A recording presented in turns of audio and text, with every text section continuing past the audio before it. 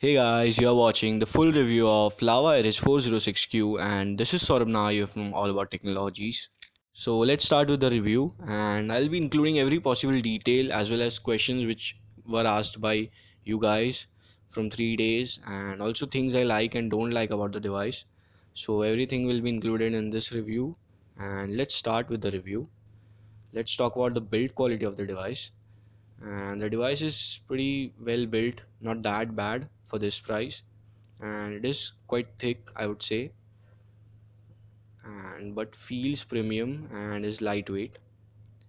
On the front we have this vga front facing camera an earpiece as well as speaker at the same place and some sensors on the top.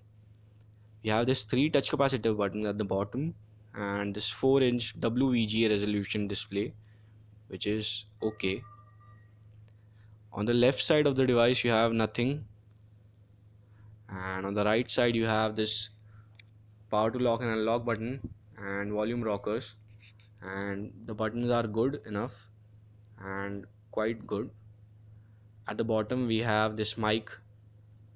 And this is the only mic present on the phone. No secondary mic. And here we have the micro usb and 3.5 millimeter headphone jack at the back we have this 5 megapixel fixed focus camera with an LED flash. You have this Iris 406Q and Lava logo present over here and no speakers present. So that was the physical overview. Let's move ahead. The back cover of this device is pretty loose and it is a bit difficult to remove this back cover and it feels as if the back cover is very loose even though you fix it properly it will feel like it is a bit loose when you hold the device in your hand. Talking about the UI swipe to the left you can go to the camera and swipe to the right you can add widgets over here. And from the lock screen you can go to the camera directly from here. And you can also go to the phone dialer and messaging. So that's great. And if you hold like this you can also change the wallpaper. You can add live wallpapers and themes can also be changed from here. And these are some themes settings which you can use. So a lot of customization done by lava. Let's go into settings and let's go into apps. The apps and games are not movable to external sd card and which is uh, which is a bit disappointment for some people who are gamers especially because uh, you won't be able to install one or uh, more than one game high-end game on this device and that would be a problem situation. If we go into the display the auto rotation settings are missing and you also need to select this to vivid because the colors look uh, oversaturated if you are on standard mode. So it is better to keep on vivid. And that's about it from the settings section. Let's move ahead and here you can see in phone dialer there is no customization. It is pretty stockish and it is all same. Only the colors are being changed. And also the messaging app is almost the stock android app. And no smileys also over there. So that was ui of this device. The three touch capacitive buttons are also problematic sometimes because uh, they don't respond. Or i guess there is uh, they are too tiny so that is a bit of problem. So you need to be very precise while uh, clicking on that. And the earpiece and the speaker is at the same place and call quality is very decent not that great.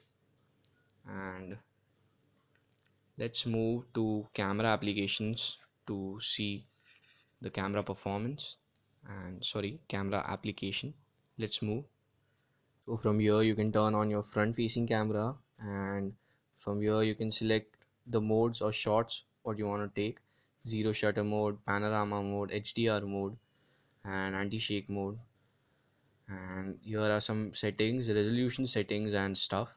White balance and, and face detection. All these settings can be changed here are some effects also given. So the camera UI is pretty basic. You can turn video mode from there on.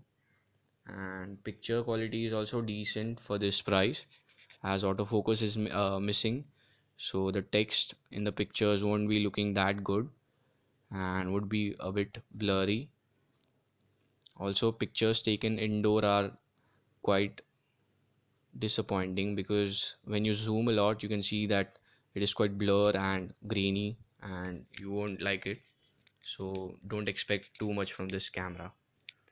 If we talk about the video playback on this device there is a pre-installed video or so you can see. And you can also listen to the speaker volume viewing angles are really bad you can see.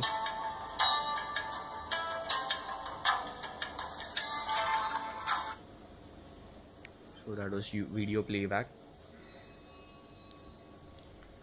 And let's talk about gaming and benchmarks on this device. Gaming is also really good on this device. For this price you can play asphalt 8 and some high-end games on medium graphic mode. And i have made a separate video on this and for that the link will be in the description. And you can watch them and see the gaming performance on this device.